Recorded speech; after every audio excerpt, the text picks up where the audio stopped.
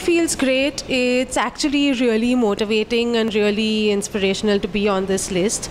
And it, it actually really inspires you to do better work. Like, it, it's, it's really great being here.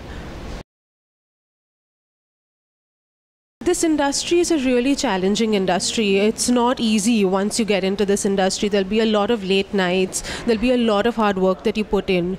But then ultimately, when you see your campaign out there, you see your campaign live there, it's really rewarding. That's when you really feel that everything's been really worth it.